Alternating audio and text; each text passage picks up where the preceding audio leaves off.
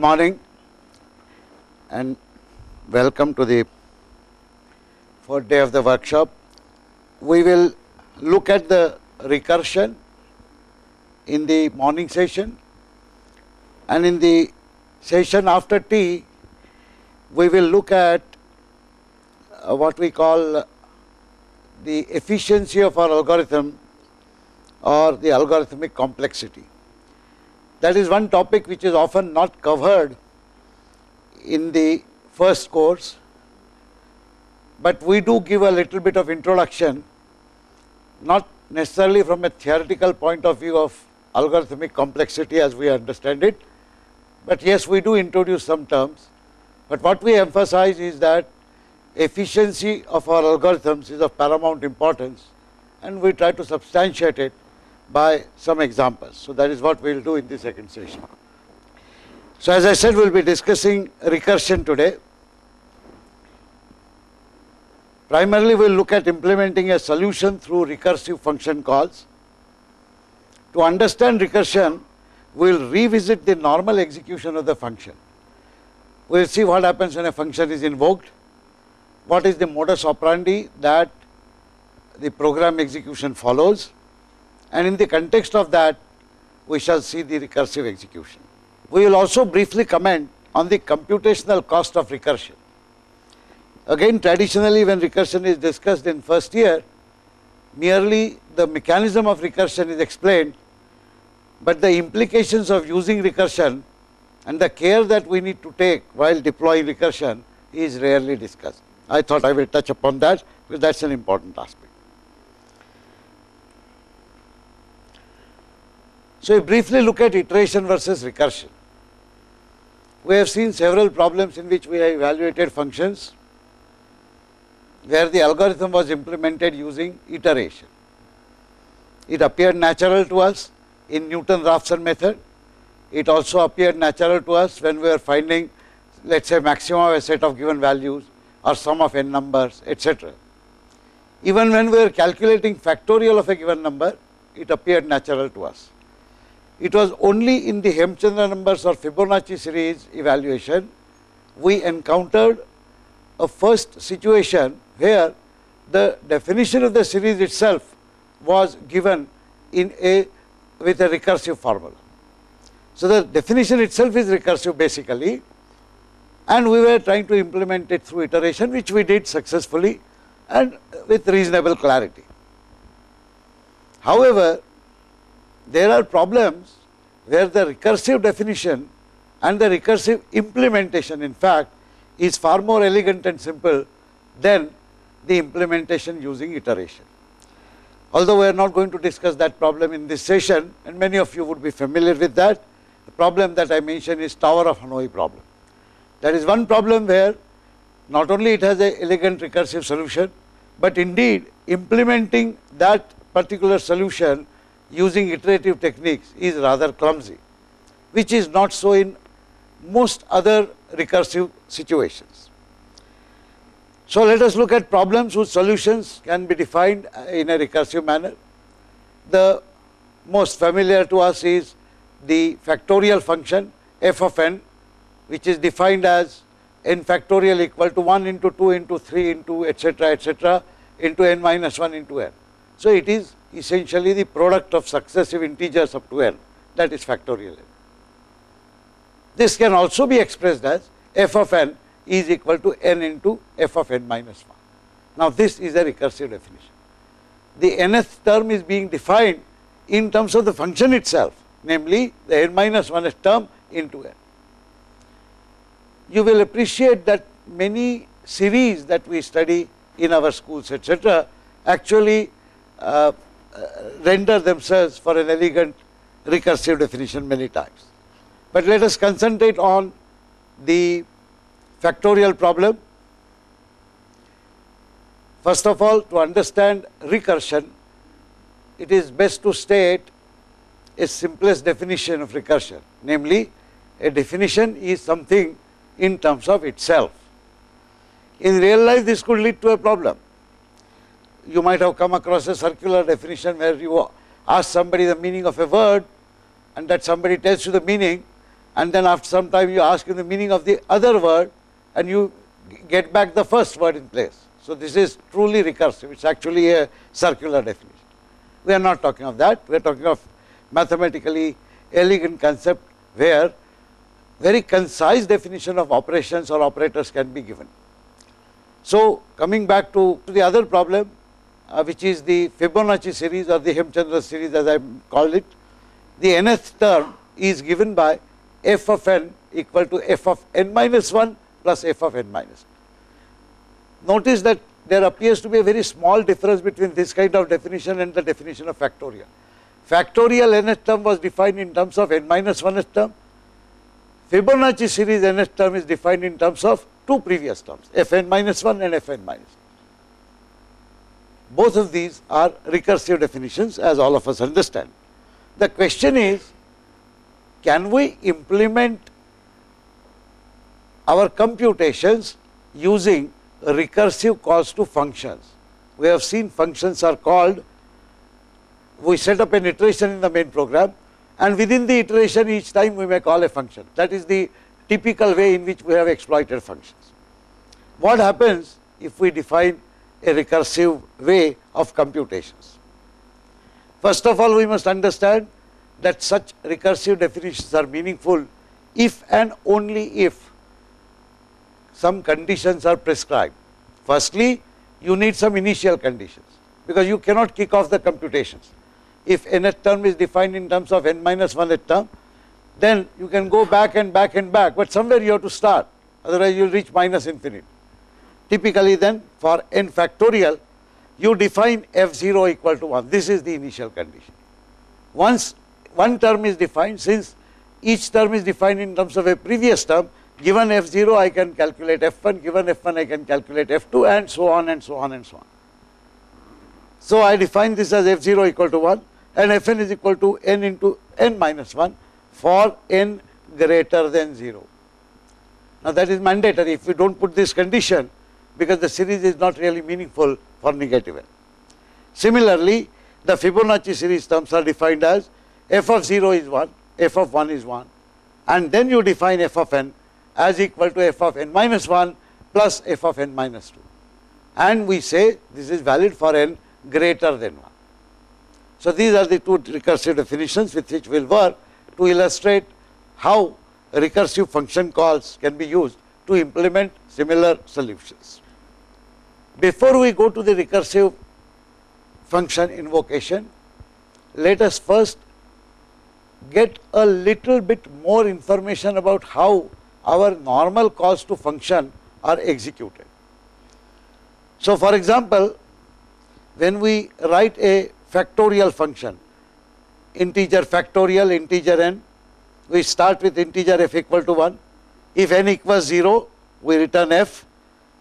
For i equal to 1 to n, we then calculate f is equal to f into f, f into i.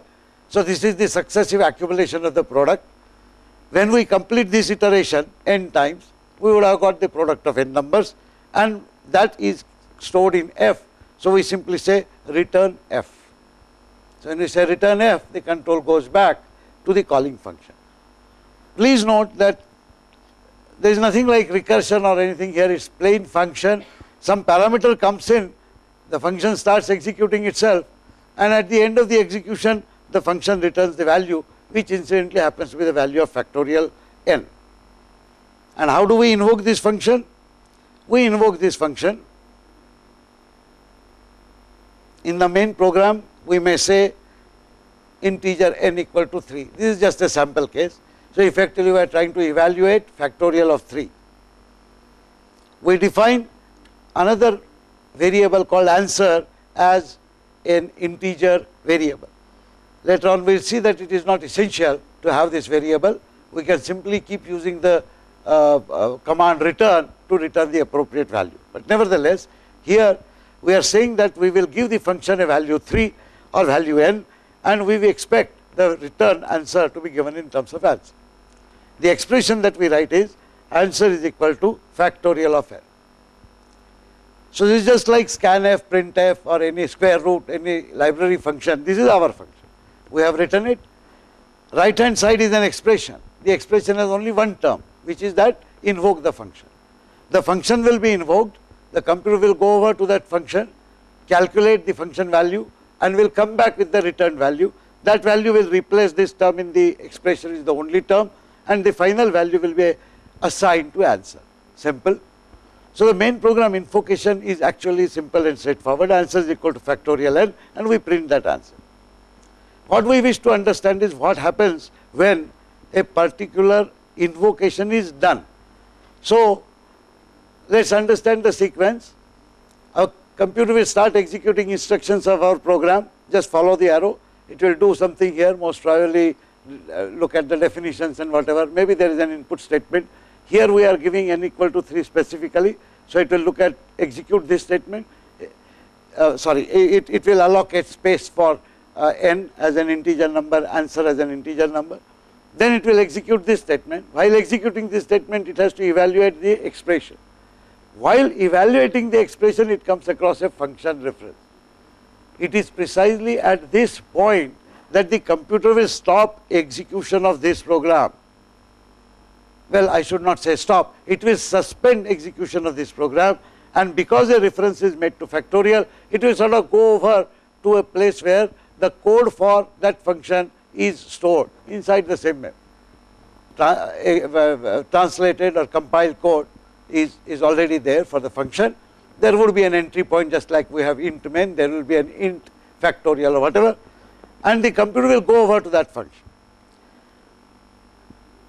We want to examine what happens during this transfer of control and also after the function calculates the return value and the return value is brought back by the computer to this particular main program. It is obvious that if the computer left computations at this point, suspended the execution of this program and went over to the function, then it must come back to this point. As I mentioned yesterday, the reference factorial of n will be replaced by the returned value, whatever it is. Since in this case n is equal to 3, 3 into 2 is into 1 which is 6 will be the return value and that value will be assigned to answer. So, what happens when the function call is made? We have actually clearly understood the sequence of activities, namely that whenever a function reference is made, the computer hands over control to that function and when function completes the computations, it comes back. But there is something subtle that happens without which actually this transfer of control, transfer of value, etc., cannot be facilitated. I have tried to show it through a diagram here. First, the activities that happen. The control is handed over to the factorial function with the value of parameter n equal to 3. The computer now allocates memory to the variables used in the function, for example, to f, i, n, etc. etc. What is important here is to note that this n, which is part of the function definition, is different from the n in the main program. Although n is used as a parameter by us here, let us go back to the previous slide, factorial n. So, we are sending this n as a parameter. Similarly, go back to one more slide, we will see that the factorial itself is defined in terms of int n. But the fact that this name is n and the other name is n is merely incidental. I could have said x here, y there. Actually, in, uh, in fact, these n represents a different memory location and the n in our program represents a different memory location. So, logically you may imagine that the value of n is being copied by the computer and is being as parameter and is actually being assigned to the n which is the corresponding parameter in function. So, there is actually a transfer of value. So, apart from assigning memory locations etc., etc., n having a separate memory location, the value needs to be transferred. It is not only the value, but something else also needs to be transferred. What is that? This is roughly the diagrammatic uh, uh, representation of the function invocation. So, this is the main program and this is the function. So, let us again recapitulate what happens.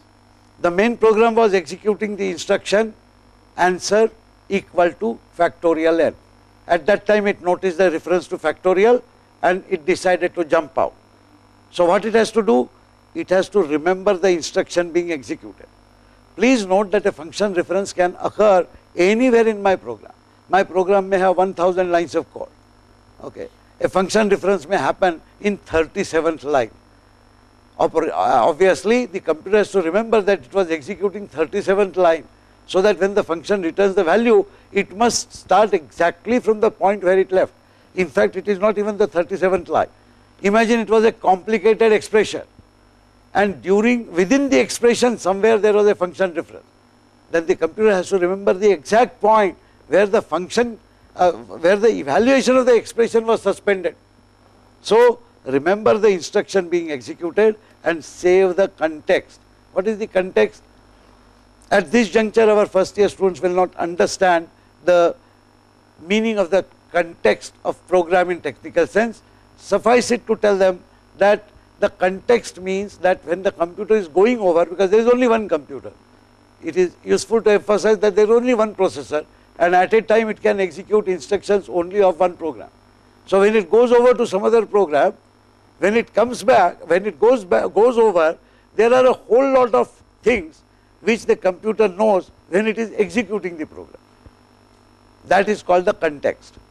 In technical terms, it could be open file handles, it could be register values, whatever, whatever. What typically the actual uh, actually happens is that all such context information gets stored into some kind of a stack and the computer's processor is handed over control to execute the function. The function execution requires the parameter values. So, computer faithfully collects all parameter values and then hands over control to the function. So, remember the simile that I gave main Dumbo and assistant Dumbo effectively it is the same computer, but effectively the control is being handed here. And when the control is handed over to the function variety of additional things happen. I have used the term here set up a logical block for factorial execution.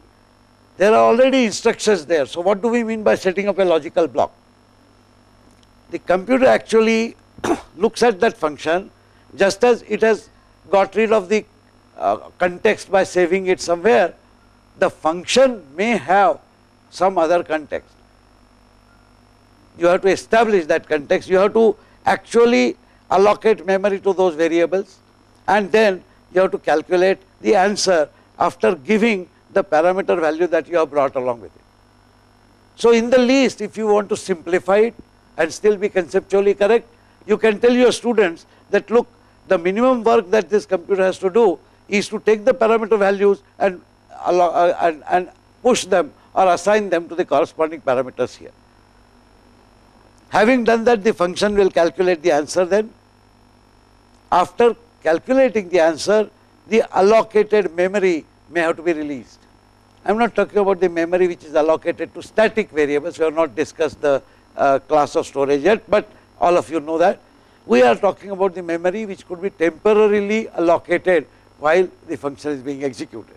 All that will have to be released and then the control will go back from the function to the main program. So, every time a function is called this kind of sequence will happen and what is written inside this block here and what is written inside this block here is the equivalent of the overhead that you will have to incur in order to go over to the function and come back.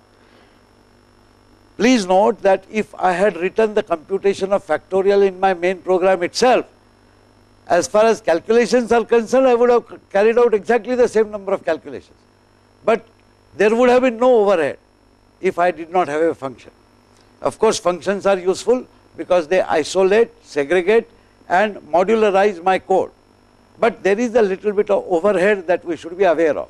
Ordinarily this overhead not, not a worry. However, when it comes to implementation through recursion, then we will suddenly see that in some cases these overheads could simply flare up. In a nutshell, there are two types of overheads which accompany a function call. First of all, additional memory may have to be allotted, allocated every time a function is invoked. One for the data elements defined and used in the function and the other for temporarily storing the context of the current program. and there could be an additional computational overhead in terms of transfer of control, parameter transfer, etc. Now let us look at the factorial function execution using recursion. If I am executing factorial using recursion, this is the way I would write the program. I have called it program 6 dash 1.c, calculate factorial of a given integer n and I am defining the function integer find factorial int n. I have deliberately changed the name slightly to distinguish between a recursive evaluation and the conventional evaluation. So, again I use the same notation I define an integer value f, but now look at my computations. I am not solving it iteratively. So, this function does not implement computation of factorial by iterative method. Instead, I am using the bare bone definition of the factorial itself which we saw just a few slides ago. So, what I say if n is equal to 0, I set f is equal to 1. However, if f n is not equal to 0, I say f should now be calculated not by any computations, but by calling the same function find factorial, but with value n minus 1 multiplied by n. You will recall this is the definition of factorial n. Factorial n, nth term is equal to n minus 1th term multiplied by n. I am actually here to calculate nth term. If n is 0, I know the value is 1, but obviously n is not 0. So, n will be 3, 4, 5, 10, whatever. I will come to the else statement first. Then I say f is equal to find factorial n minus 1 star n, the computer will suspend execution of this program. This is not the main program, the function itself, but it will suspend its execution. It will calculate the value of n minus 1, which is now the new parameter. And with this parameter n minus 1, where will it go? It will go back to itself. In the process, it will save the context of current execution, which is again the function itself. So, it is a very complicated thing. I am going to ask myself to do some computation, but so that I should not forget what I was doing, I will remember the context somewhere and then call myself. So, obviously, there are two me's now. The first me who was called by the main program. Now, that first me has called me, I am now the second me. But the first me logically exists, the first me has not gone away. The, what is the difference? If the second me, that is the second time invocation of the function is at this instruction because that is where the computer has come. The first me has gone to sleep while evaluating this expression. So, the first function invocation is somewhere here, the second function invocation is somewhere here.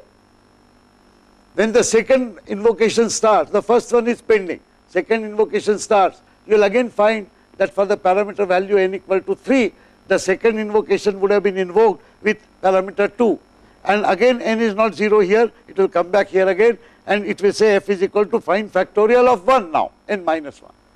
So, the second execution will have to be suspended, third execution will have to start. Let us uh, let us describe this situation pictorially.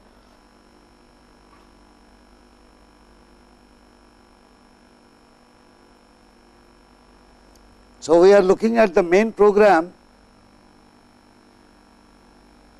calling the function factorial I will call it fact.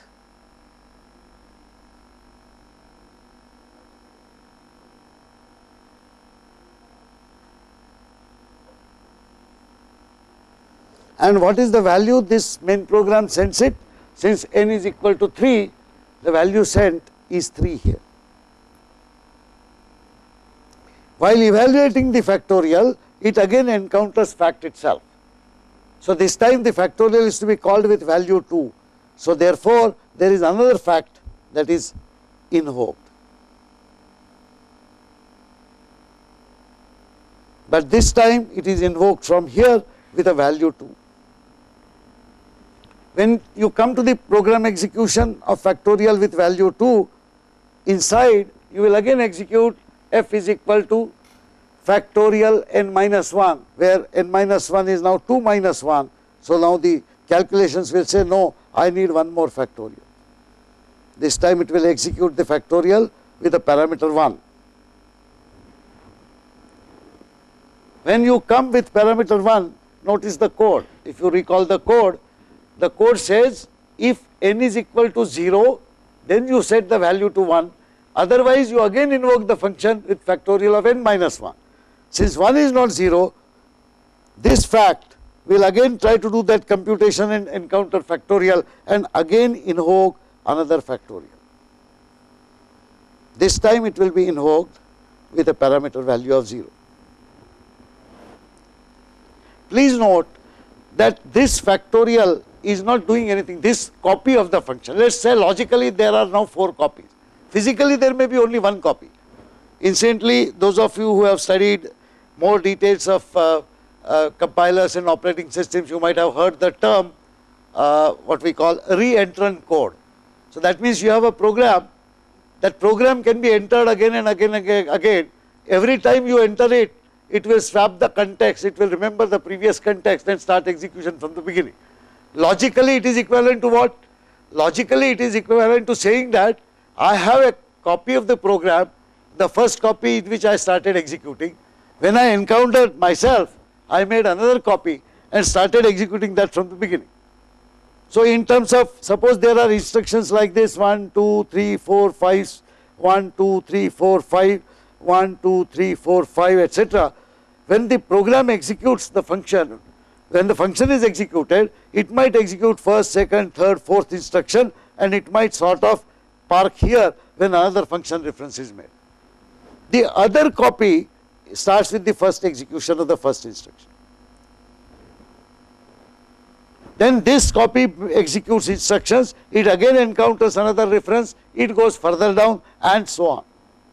All these copies are dormant and each one of them remembers at which point the execution was suspended. Why it remembers it? Because it will have to come back to that point. So it is not as if these recursive calls are made and the final invocation of fact with the parameter 0. So let me write the parameter here, this is 3, then this is 2, then this is 1 and then this is 0. When fact is invoked with 0, during the computation it now suddenly finds out that condition if n equal equal 0. Yes, the parameter is 0, the factorial function is happy, no further cause to itself, it will now say go back and now the value will be passed. What value will be passed back? The value which will be returned will be for the case when parameter was 0 which is 1 because we had said if n equal equal 0 return 1 f is equal to 1. This value 1 comes back here. Notice that the invocation has been done. So that factorial value which has come back is now 1. Now 1 into n. What was the n here? This was 1. 1 into 1 is still 1. So this also passes back a value 1. When it comes here, I will, I will like you to recall that effectively the function that the value f is being defined in terms of f of n minus 1 into n. n was the parameter. So at any point in time you imagine as if this, this is valid. So here when this function is completely evaluated you actually not reach this point because if n is 0 you simply return 1 but when you come back here this f of n minus 1 will be replaced by this one. It will be multiplied by n which was the parameter in this case and therefore this one will be used. So 1 into 1 you will get 1 now this one will be multiplied by 2 you will get 2 then this 2 will replace that function value it will get multiplied by 3 and this will become 6 and this is how you will come back here. So the final value which is returned to the calling program is 6. So to recapitulate, every time this function is invoked, this function will either at the end will evaluate f as 1 and return, otherwise it will come across this, it will call itself, every time it calls itself, it will calculate, return with some value, notice that actual value is returned only when it is called as many times as is required to go to the bottom of the problem namely to reach n is equal to 0. So, let us say n is equal to 20. If n is equal to 20, this function will invoke itself 20 times and it will return value exactly in the same sequence going back 20 times. Consequently, you can easily see that the cost of actual computation namely doing a multiplication is trivially small as compared to the overheads which will have to be incurred in passing control, passing parameter, collecting parameter and so on. Ordinarily, we would not be worried because the computer is a very fast machine. So, it is perfectly fine that let the computer do the computing. But in some cases, the function invocation in a recursive form is not as simple as this. This is like almost creation of a tree with several nodes, but in a so this is almost like a tree, but with a single branch. Okay, there are no branches here. You are it's a linear tree coming here, going here, going here, going here. What if you had a function which called itself twice in the same invocation with different parameters? That is precisely what happens in case of Fibonacci series. Let us go back to the Fibonacci series definition. Look at this definition. The function can be written in a recursive fashion, but the way it will have to be written is some value f or x or y whatever the value to be returned will be defined in terms of invocation of that function itself with n minus 1 as parameter plus invocation of that function itself with the parameter n minus 2. Can you guess what would happen? It would perhaps increase the total number of invocations by a factor of 2. Ordinarily, I would have asked you a quiz on this, but I have not prepared a quiz. Those of you who think that it is only a double increase in the invocation, you are very, very wrong. The increase actually is exponential, although it is not decipherable from this deceptive definition. So, let us try to draw a similar picture what we have drawn there for the case when we are evaluating in exactly the same fashion as we evaluated factorial by writing the recursive definition, we write a recursive definition for Fibonacci series and what would happen when that function is invoked. It is an interesting uh, case to draw. This time you will see that really you get a tree. So, here is my main program.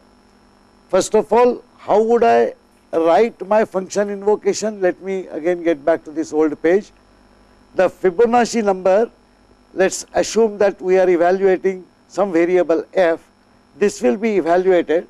If it is nth number that I am evaluating, then the Fibonacci number is defined in terms of f of n minus 1 plus f of n minus 2. And of course, there are logical conditions. If n is equal to 0, if n is equal to 1, the values are defined as per the initial conditions. We will not look at it, but these are the initial conditions. Now, with this kind of function definition, if I start executing, when my main program first comes, let us imagine that the main program is trying to calculate the fifth term of Fibonacci series. So, the main program will come with a parameter n which will be equal to 5. This will come to the Fibonacci function. So, let me call it the function fib. Now, when this fib function is being executed, it will have to calculate that f which will invoke fib again, but with a parameter value 4. It will have to come here. This fib 4 will call fib again and this fib will have to be evaluating f is equal to fib 3 now plus something. This is plus fib 3. Notice that the computer has not yet looked at this fib 3. It is evaluating this expression and while evaluating this expression, it is just concentrating on evaluating this term. While evaluating this term, it has to call this function itself, it gets called, and now for evaluating this, this will have to call FIB3 and this will have to call FIB2. Again FIB2 will be temporarily forgotten, it will go and calculate FIB3. When it calculates FIB3, again the FIB3 is defined in terms of fact FIB2 plus FIB1. If F0 and F1 are only defined, then this will still calculate, uh, call something else here. When this computation now returns, it will actually replace this value with whatever it has got and now it will go to this expression, this part of the expression. It says ah, I have to evaluate F1, so it will again spark off another execution. With all these Jamela when it goes back, it will take one value back here but when it comes back, it will only replace this. And when it replaces this, it will look at the remainder of the expression. In the remainder of the expression, it says F2. So it will again spawn off another call to fib with F2. Please note that when the computer comes back here, it does not remember that it has already evaluated f of 2. That is what it did when it went there. For computer, this is merely another term in the expression it incidentally happens that this term requires invocation of function with a parameter value 2. Recursive invocations do not retain the memory of past references and therefore it will end up making this call which again in turn will end up making another call.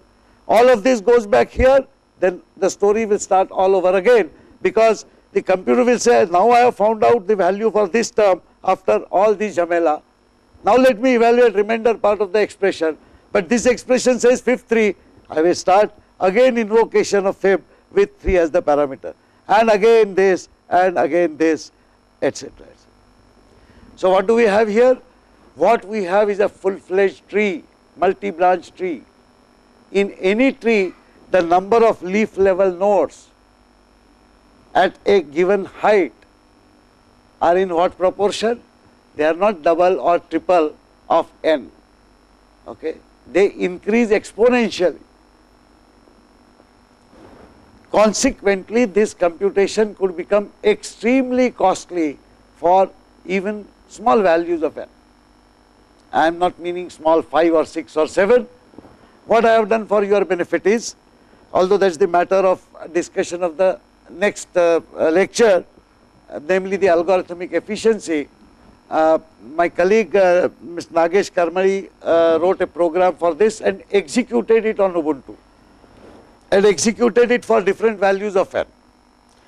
He did it using iteration or the iterative computation of Fibonacci series and he also did it using the uh, recursive computation. Some very funny things you may observe. For example, when you recursively evaluate factorial, the overheads are not much, but the factorial value itself becomes very large. And when that becomes very large, computationally you start getting errors.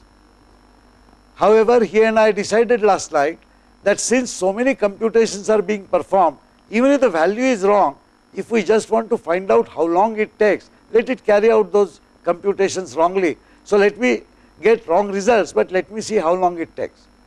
And you can actually see the exponential behavior of that algorithm when you call it uh, recursively by giving larger parameter values. That of course is a matter of discussion of the uh, uh, subsequent class post uh, uh, T.